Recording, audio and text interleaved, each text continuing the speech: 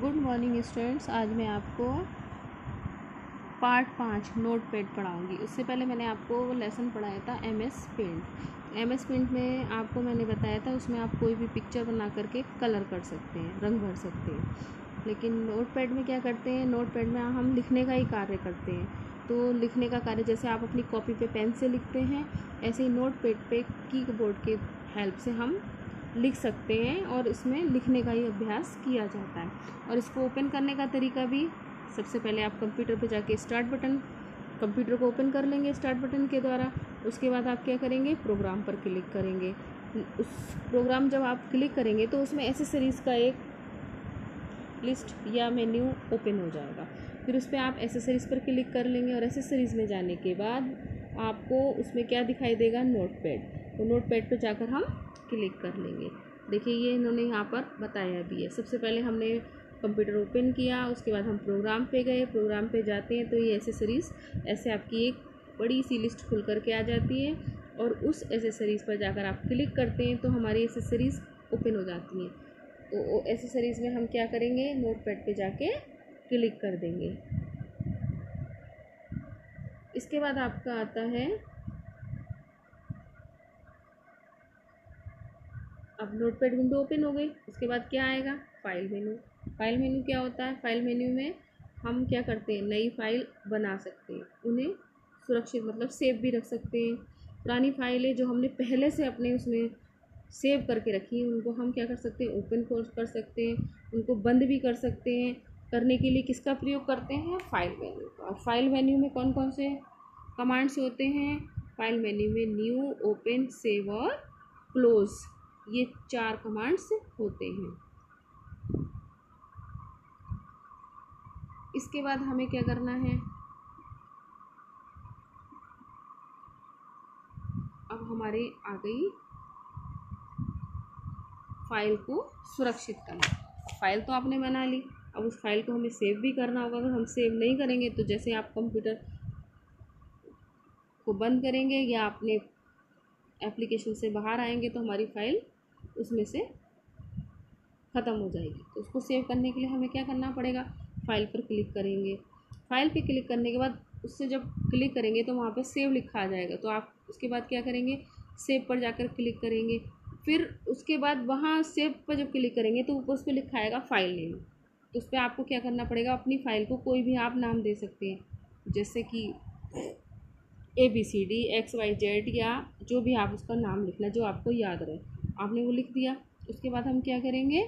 Save पर जाकर click कर देंगे। तो उससे क्या होगा? आपकी जो फ़ाइल आपने बनाई है, वो कंप्यूटर के हार्डवेयर में जाके सेव हो गई। और अब जो आपने फ़ाइल सेव की है, अब आप उस फ़ाइल को देखना चाहते हैं, खोलना चाहते हैं तो उसके लिए हमें क्या करना पड़ेगा? फिर से हम फ़ाइल पर जाकर क्लिक करेंगे।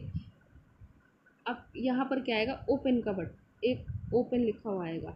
क्योंकि हमें खोलनी है तो ओपन तो हम उस ओपन पर जाकर क्लिक कर देंगे। और क्लिक करने के बाद जो आपने फ़ाइल का नाम दिया है, जो भी X Y Z A B C D आपने जो भी नाम दिया है, उस नाम पर उस पर जाकर क्लिक करेंगे। उसके बाद हम ओपन पर जाकर क्लिक करेंगे। तो हमारी जो सेव फ़ाइल है, जो हमने कंप्यूटर में, हार्डवेयर में पहले से ही सेव करके रखी है, वो फ़ाइल हमारी ओपन हो जाएगी। अब जब उस इसमें एक आता है एडिट मीनू एडिट मीनू का मतलब होता है कि हम जो भी उसमें चेंजेस करना चाहते हैं या जो भी बदलाव करना चाहते हैं वो कर सकते हैं। में कट कॉपी पेस्ट व सेंड फ़ोन आदि होते हैं जो टेक्स्ट को व्यवस्थित करने के काम आते हैं। सबसे पहले आ गया आपका कट कट मीन्स काटना। लेकिन टेक्स्ट में जो मिटाना हो या हटाना हो माउस द्वारा सेलेक्ट करके कट करने से वह भाग मिट जाता है। मतलब कोई भी चीज़ हमें अपनी फ़ाइल में से हटानी है और हम गलत लिख गए हैं उसको हटाने के लिए, जैसे आप नोटबुक में इरेज़र का यूज़ करते हो, कुछ भी गलत हो जाता है तो इसमें आप क्या करेंगे? कट कमांड का यूज़ करेंगे, जो आपने लिखा है और उसको हटाना चाह रहे हैं। तो उसके लिए हमें क्या करना है? उसे माउस द्वारा सेलेक्ट करेंगे और कट करने पर वह भाग मिट जाता है। तो उसको कैसे करेंगे? सेलेक्ट टेस्ट एरिया उसके बाद एडिट मेनू पर क्लिक करेंगे और कट पर क्लिक कर देंगे तो आपका उस पर फ़ाइल में से वो पार्ट हट जाएगा। इसके बाद कॉपी पेस्ट कॉपी पेस्ट क्या? एक ही टेक्स्ट में दो या दो से अधिक बार लिखना हो तो कॉपी तो पेस्ट किया। मान लीजिए जैसे आपको एक ही वर्ड बार बार आ रहा है, या एक ही लाइन आपको बार बार लिखनी है उसमें तो उसको हम क्या करेंगे? उसको पहले उतने भाग को हम सेलेक्ट कर लेंगे। सेलेक्ट करने के बाद एडिट मेन्यू पर क्लिक करेंगे। उसके बाद कॉपी पर क्लिक करेंगे और उस लाइन को या उस शब्द को जहाँ पर भी हमें लिखना है, वहाँ पर ले जाकर क्लिक कर देंगे और एडिट मेन्यू पर क्लिक करेंगे। फिर पेस्ट पर क्लिक कर देंगे। तो वो पार्ट मतलब नीचे आपका पेस्ट मतलब वैसे तो क्या कहते हैं, पेस्ट मतलब चिपकाना। तो आपका वहाँ से आके कॉपी हो गया और कॉपी आके नीचे आपने इसको पेस्ट कर दिया। इसके बाद सेट फॉन्ट सेट फॉन्ट क्या होता है, जैसे अक्षर है, उनका आकार या प्रकार आपको बदलना है। आप चाहते हैं कि जो हमने लिखे हैं वो मतलब हमारे न्यू स्टाइल में या अलग स्टाइल में, बड़े या छोटे, जैसे भी आप उसको करना चाहते हैं तो आप एडिट मेन्यू पर क्लिक करेंगे और उसके बाद सेट फॉन्ट पर क्लिक करेंगे। तो आपके क्या होंगे? आपकी स्क्रीन पर क्या आ जाएगा? और आप स्क्रीन में हम फ़ॉन्ट फ़ॉन्ट स्टाइल या फ़ॉन्ट स्टाइल बदल कर हम मनपसंद टेक्स्ट तैयार कर सकते हैं, ठीक है? और इसके बाद नोट पैड बंद भी करना होगा, अब आपका काम पूरा हो गया, आपने अपनी फ़ाइल सेव कर दी तो अब आप उसको क्या करेंगे? बंद करेंगे। और बंद करने के लिए हमें क्या करेंगे? फ़ाइल पर क्लिक करेंगे, उसके बाद हम एग्ज़िट पर क्लिक कर देंगे। तो उससे क्या होगा, हमारी जो नोट पैड है वो क्लोज़ हो जाएगा। Thank you